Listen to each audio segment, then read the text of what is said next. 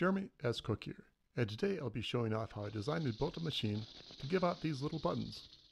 Now I, I ordered like 500 of these to give out at Maker Faires, so obviously giving them out by hand would be too much work, so I instead spent countless hours designing and building a machine to do it for me.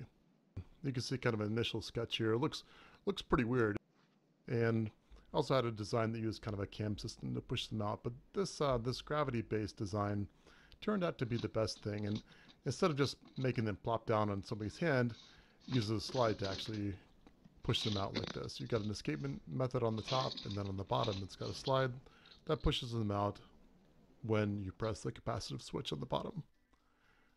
So the design started out, I designed in Fusion 360, use this on a lot of my projects these days. And you can see there it's, it's a slide for up to five buttons, I guess, and then you've got accommodations for a servo on one side and the other. Curved slide took me just a little bit of time to figure out. You got to use a sweep command for that with the same sort of profile as the rest of the of the design. So that's the slide mechanism, and you can see it printing here. Ultra fast speed, thanks to Octolapse, of course. So once I put it in there, you can see it just gets kind of stuck toward the bottom. Well, I could have made it bigger, but easy solution was just to just to use my file. File and file and file it. After quite a bit of work, it did, it did drop down though nicely. It going down there, going down again. And I put it together with some cyanoacrylate glue. It held together really well. It was touched quite a bit and, and messed with quite a bit at the last Maker Faire I went to, but everything held together nicely. Now with that done, I decided to make a nice base out of it, out of MDF. You can see me designing it right here. Made all the colors somewhat, somewhat like they turn out. And since this would take forever on my 3D printer and mine's not big enough anyway, I cut it out on my CNC router. It's one of the pieces there, finished it up with a file, and then cut the other piece. Everything will be linked together with a standoff between the two that was 3D printed. Actually, I think it was 3D printed for another project that maybe you'll see here soon. So with that done, I popped it out, finished it off a little bit more, and then stained it with some black stain. Saw this on a Pocket 83 video. He, he, he um, I wouldn't have thought that MDF would take stain so well, but it really looks beautiful once you, once you get it finished. Really some nice, nice technique. From there it was time for some urethane on the top. And once that was done and dry, it was time to put it on the router again.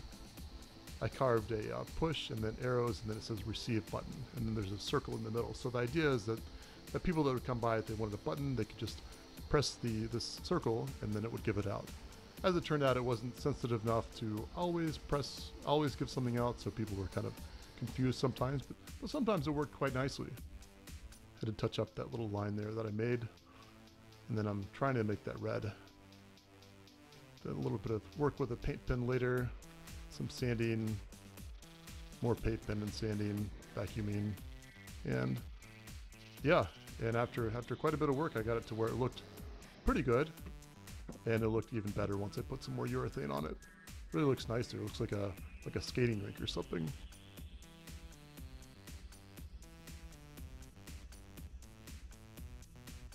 Now one thing I should have done while it was still unassembled is actually tap these accommodations for the servos.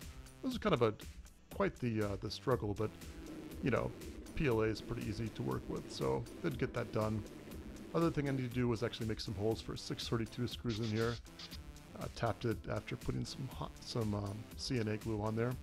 Now the reason I'm only tapping it in one place here is that if you tap it in one place first, then line up your holes, this makes it a little bit easier to get a good good hole position for the other three. So with everything drilled and marked, I did go ahead and put some more holes in it, and it, it did line up correctly, so everything everything bolted down nicely.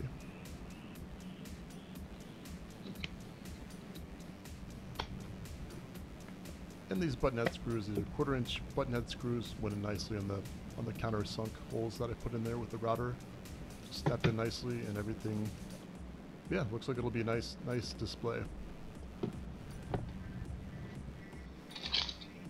And there's everything sliding through, so it's working exactly like it should. I put some plastic or uh, rubber bumpers on the bottom. These are nice to have around. I got some used from China for like a dollar for, for a bunch of them, so good to have around. With that all done, the really important thing about this is how I'm actually going to hold all the buttons back.